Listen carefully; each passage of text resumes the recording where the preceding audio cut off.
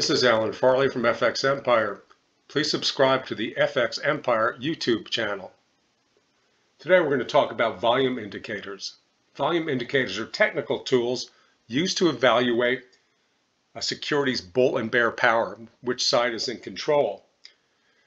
Some volume indicators uh, look like uh, price patterns. They uh, form highs and lows, while others oscillate across a central zero line. Now we're going to use uh, Apple uh, the Apple chart in order to take an investigation of these uh, five indicators. We're going to start with uh, pulling down the studies and going to our first one, which is accumulation distribution. So you type that into the little blank box here, and it pulls out everything that starts with an ACCUM, and we have accumulation distribution. Now, this is a real classic volume indicator, which uh, looks at a price range during a day which side won, in other words, whether uh, the security uh, closed higher or lower, and then it adds a volume to the uh, next, uh, or adds a calculation to the next bar, uh, forming these patterns. Now, accumulation distribution patterns are very, very simple to interpret when when, accumula when the accumulation distribution indicator is rising, then the security is under accumulation. When the accumulation distribution indicator is falling, then the security is under distribution. Now, this is uh, the great middle ground here where you don't get a lot of either. We have range-bound markets, which you don't get a lot of accumulation or distribution. Now, levels are also important in accumulation distribution. As you can see, we made a peak right here. And then uh, we have uh, a, a, partial breakout right here, followed by a failure, followed by a probably a little bit more legitimate breakout. Now, you could argue that this is a cup and handle pattern if you really have the eyes to see it. And that's because uh, accumulation distribution indicator can form patterns that look very similar to uh, uh, price patterns, like a price bar, a cup and handle pattern. So it's uh, very important in terms of accumulation distribution and compare the current price and level and directions going in with what's going on up here in the price pane. Now, when we get a rising accumulation, but the security is falling, that's a bullish divergence. When we get falling accumulation and the uh, security is still rising, that's a bearish divergence. Uh, we have convergences here. In other words, uh, the both indicator, both indicator and uh, price turned at about the same time. So there's a, a very good uh, correlation between the two. So we're not seeing that, but you will see it over time, especially if you look back at one, two, and three year charts. You can pick up some very excellent long-term signals because a lot of times, even though buyers stop buying or sellers stop selling, that doesn't necessarily uh, stop a trend dead in its tracks due to momentum. So you can early you can always pick up very uh, early a buy and sell signals using accumulation distribution indicator. Now moving on, let's go uh, to the uh, classic uh, accumulation distribution indicator, which is uh, on balance volume. We'll clear this off. Remove this, go to on and balance. And here's on balance volume. Now, this indicator is more popular, over, has become more popular over the years uh, than the accumulation distribution indicator. However, it does the same thing, but it does it in a different way. Uh, uh, the on-balance volume does not look at daily range. It just looks at whether a security closed higher or lower than the previous bar. And if it closed higher, uh, then it adds a, a, figure to the to the accumulation to the OBV setting. And if it closes lower, it subtracts that uh, that figure from the accumulation from the OBV setting. So you get slightly different kinds of patterns. You can't see uh, uh, exactly the same kind of pattern here on the OBV, but you can see the similar sort of uh, uh, accumulation over here and distribution down here and a lot of noise right in here. Levels are important with uh, OBV just like they are with uh, on balance volume. As you can see, this is offering a little bit of a more accurate picture. You notice how this level set up as resistance and then it stayed as resistance for a very long time. We have a couple little minor breakouts, nothing that really tells us that uh, new buyers are coming into the market. And we also have this downturn in this from this little breakout. We have this failed breakout uh, on the same day that the uh, that Apple posted a, a multi-month high. So you can see from these kinds of divergences, this is a bearish divergence where uh, the OBV is dropping, but prices either uh, sideways or still rising. Uh, and then it uh, becomes an early signal for uh, buy or sell when you get divergences, either a, uh, a bearish divergence when uh, uh, when accumulation is falling and price is rising, or a bullish divergence when accumulation is rising but price is falling. It's a very, very valuable indicator. And again, keep in mind the levels because these levels are important. So if if this Apple correction comes down to this level, you're going to be watching and looking for support to come into the market. Okay, moving on, let's take a look at uh, Chaikin money flow, which is a variation on the theme. We'll, we'll remove this one, go and put in Chaikin. This is Mark Chaikin, who uh, created this indicator. And uh, money flow um, measures accumulation and distribution just like the other two indicators, but it does it in a different way because look, it's oscillating across a central line. Now this is a big deal. Uh, the accumulation uh, distribution indicators, the first two were not oscillators. They would go, uh, they would rise and fall just like trends, but this one uh, determines the degree of trending and also some directional information. As you can see, we have strong trends. So we have we have uh, Chaikin's money flow going up to a very high level right here. Uh, then it comes back down. Now look at this. This is interesting. See how it comes back up, but this is coming down because this is the degree of trend. Now, at degree of trend, if the if the uh, instrument stops trending, that will start to drop Chaikin's money flow. So it's oscillating based on strength of trend rather than direction of trend. So you have to keep that in mind because you get you get some kinds of relationships. Like here we have, it looks like, well, this is showing us a downtrend, but it's really not. It's showing us that trending is easing and we're becoming more range bound.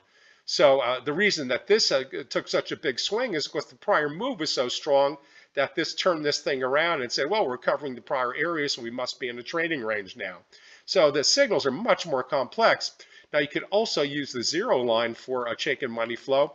Uh, when it's uh, dropping uh, back to zero, that is a range-bound market, a fully range-bound market. Crossovers uh, from low to high mean an increasingly trending market. Crossovers from uh, high to low mean a decreasingly trending market or more range-bound market. Now, it's more of a confusing indicator to, to use because uh, this is similar price action here and here, but look at what happens here. Even though we get a move all the way back up this prior high, this has hardly crossed the zero line, and now it's dropped down to a sort of the lowest low that uh, since last May. So this is kind of a big deal because it's uh, it's showing you that the trend is increasing, even though the range is, it hasn't really changed range until since the middle of February. But this says that the trend is increasing. In this case, uh, it, you look at other indicators or you look at the price pattern to determine whether it's an uptrend or downtrend. So this is kind of a dangerous situation because of this extent of trend coming back to this uh, almost a almost a multi-month high. So you have to watch out for uh, the stock to uh, make up for lost ground or perhaps drop down to the 110 or 105 level. Okay, let's move on to the volume oscillator, which is another oscillator. In other words, it'll, it'll cross over a zero line for the most part. So we have volume and oscillator right down here. Now the volume oscillator, it also identifies accumulation and distribution, but it does it by looking at the relationship between two volume moving averages. If the shorter volume moving average is uh, covering ground more quickly than the longer moving average, then uh, it will increase the trending of the volume oscillator. And again, let's see if this is directional. It's not really a directional because it's supposed to turn higher in uh, just like Chaikin's in any trending market. So here we have an we have an uptrend, uh, uh, but here we also have a downtrend. See how this how we start, we go from range bound market and we start to move across to a trend, but we're actually going down, even though it's in the same direction as these guys. Well, that's the point of an oscillator. An oscillator uh, often, well, it, it can give you, it can give you directional information, but volume oscillators tend to just look at volume participation and price rate of change rather than directional rate of change. So you see the intensity of a trend. And uh, see, sometimes you get funky signals like here, it hits its uh, highest high or trending high uh, right after, well after the uh, the um, uh, uh, high of the stock, a few bars after the high, about three or four bars. So you see sometimes this is a very late signal, but you can also produce early signals too. this is actually a very early signal right here where it just it turns higher and just keeps on going and then you're getting a, a, more of a trending. And we even have a little bit of a bounce off of this zero line. Again, this zero line refers to a neutral situation in which neither bulls nor bears are in charge. That might give you more directional information, even though it's non-directional in nature, but it basically tells you it's range bound and uh, the, the, uh, the price range should not be changing that much over time. So it's a very interesting indicator to work with, but it's much harder to interpret oscillators like uh, Chaikin's money flow and this oscillator uh, with uh, using sort of a classic, well, when it's high, that's good, and when it's low, that's bad. It's not how oscillators work on average. Finally, let's take a look at balance of power. Now, balance of power, you may, uh, if you're familiar with uh, Worden's uh, charting program, they've used balance of power for years, but it's actually been around before Worden, So it's been around since, I think, like 1991. Now, this, this uh, indicator shows the strength and the strength or weakness of buying and selling pressure the oscillator is it's plotted in a paddle with a, with a zero line. You see, in this case, it's not moving all that far from the zero line, but it does uh, it does uh, it is directional, unlike Chaikin's and unlike uh, the volume oscillator. In other words, when this is above the zero line, bulls are in control, and when this is below the zero line, bears are in control. Now, uh, it looks like it's not traveling much, but every instrument's going to have its own range and just because you see the range that looks about from here to here and it doesn't look like a lot, well, you could change uh, this part over here and it's going to look a lot different. And other other uh, uh, securities, say you put uh, like GameStop on this thing in uh, at the end of the year, the start of 2021, you're going to get a, a lot more trending and you're going to start hitting extremes of one and minus one. So you are looking at uh, the crossovers, which are very important. Here we have an uptrend. Here we have a decreasing uptrend and it's funny, we get a crossover literally on the date of, of the top back in uh, May of 2020, uh, excuse me, in, in September 2020. And, and, and, it says that bears are in control. Well, bears are in control doesn't mean there's a breakdown, but sure enough, it caught this uh, caught this uh, uh, downtrend and a very profitable downtrend if you're short selling it. Now we have little bit of moves, and you have to look at levels too with this because it it also looks at depth of trending uh, whether the strength or weakness is broad strength or limited strength, and whether it's limited uh, limited weakness or broad-based weakness. So the the height of the uh, oscillator in relation to prior peaks, not in relation to any absolute number here, determines the strength of the trend.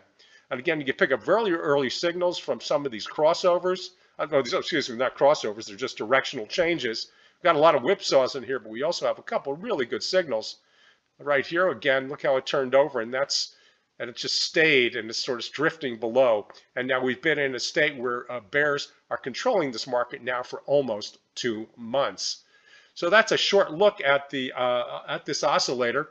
And um, uh, there are a lot more. There's something like uh, 22 uh, volume indicators that are controlled, that are covered by the uh, advanced charting program of FX Empire.